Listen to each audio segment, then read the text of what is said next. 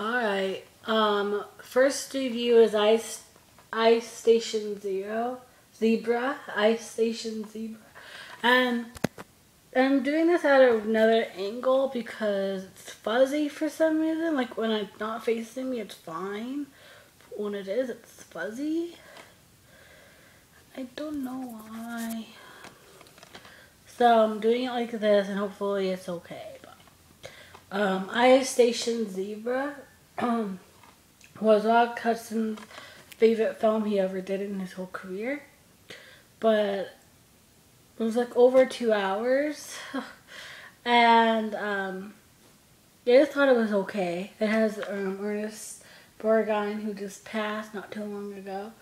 Um, the only one that's still living is Jim Brown. He's 77 years old.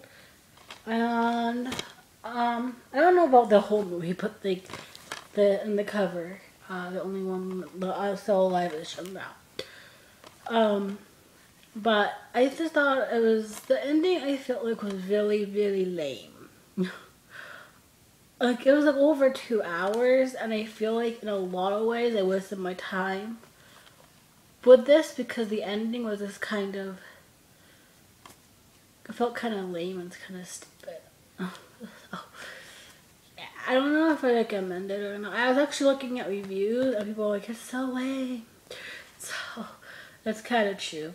Um, it's actually uh, nominated for um, two Academy Awards, but I guess for the time it would be like, it would have been like really cool, but it's not really.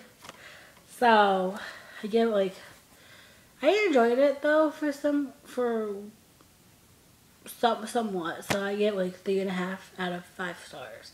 So um, they give it a like. so um, that is all. Goodbye.